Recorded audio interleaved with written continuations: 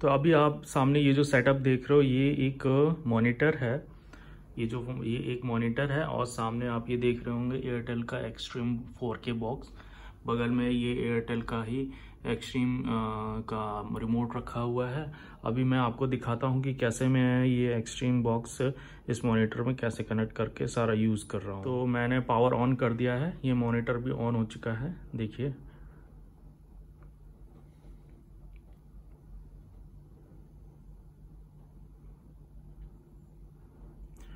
और ये एयरटेल का एक्सट्रीम बॉक्स काफ़ी अच्छा इसमें परफॉर्म कर रहा है, काफ़ी अच्छा। तो आप अगर अगर अपने पीसी से थोड़ा बोर भी हो रहे हैं, उसमें टीवी वगैरह देखना चाह रहे हैं तो आप अगर आपके पास एक्सट्रीम बॉक्स है तो आप इसमें कैसे कनेक्ट करके यूज़ कर सकते हैं, वो मैं आपको दिखा देता हूँ। बहुत सिंपल सा प्रोसेस है। बस इसमें एसडीएमआई के कुछ पोर्ट्स जो भी हैं, वो अवेलेबल होना चाहिए। इसमें आराम से आप ब्लूटूथ के स्पीकर और यूएसबी पोर्ट से भी आप स्पीकर कनेक्ट करके चला सकते हैं। और इसमें आप सारे ऐप्स वगैरह यूज़ कर सकते हैं। और मैं आपको दिखा देता हूँ एयरटेल एक्सट्रीम बॉक्स में आ, आ, क्या क्या पोर्ट्स हैं दिए गए हैं। आप इसमें आराम से हर टाइप के पोर्ट इसमें अवेलेबल हैं तो आप आराम से कुछ भी इसमें कनेक्ट करके यूज़ कर सकते हैं। एच के भी हैं और यूएसबी पोर्ट है जहाँ से आप स्पीकर के आउटपुट्स भी ले सकते हैं।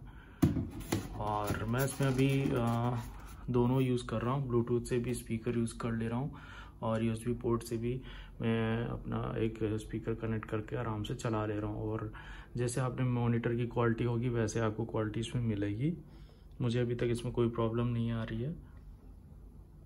तो ये मेरे डेल के पीछे का मॉनिटर का जो अभी लुक है पार्ट है, वो मैं आपको दिखा देता हूँ कैसे इसमें क्या क्या पोर्ट्स लगे हुए हैं। ये आप देख सकते हैं एचडीएमआई के पोर्ट दिए हुए हैं और एक एयरटेल से आया हुआ वायर है, जो इसमें कनेक्ट किया गया हुआ है। और आप इसमें आराम से अपनी टीवी भी चला करके देख सकते हैं। एयरटेल एक्सट्रीम का रिमोट कुछ आपको इस तरह इस तरह का दिख जाएगा। और मैं आपको दिखा देता हूँ, इसमें आराम से आप वाईफाई वगैरह कनेक्ट करके सब कुछ चला सकते हैं।